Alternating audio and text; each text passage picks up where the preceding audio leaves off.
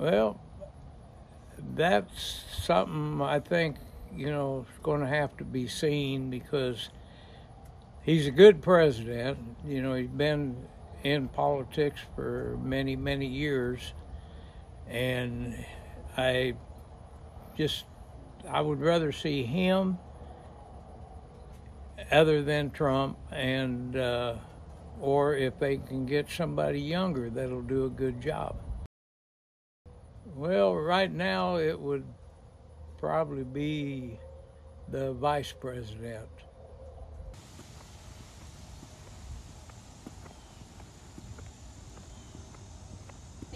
So voters are fearful. I hear a lot of anxiety.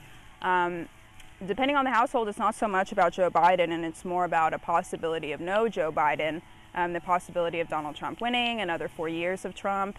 Uh, people are very nervous about that, and that seems to be the dominant emotion that comes out at the doors about the presidential race.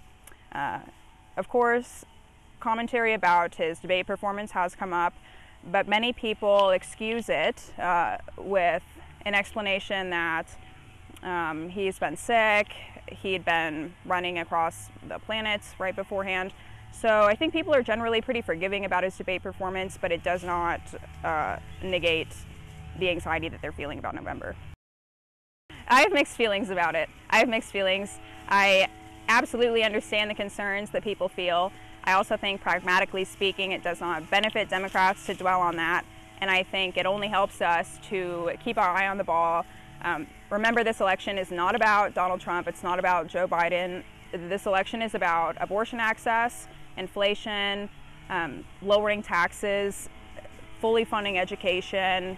Um, people should not be afraid they're going to be taxed out of their homes. And so we need to keep those issues centered and think which party, which, which candidate is going to um, support us in those areas, and Donald Trump is not it. It's Joe Biden, and we need to stay focused on the policies.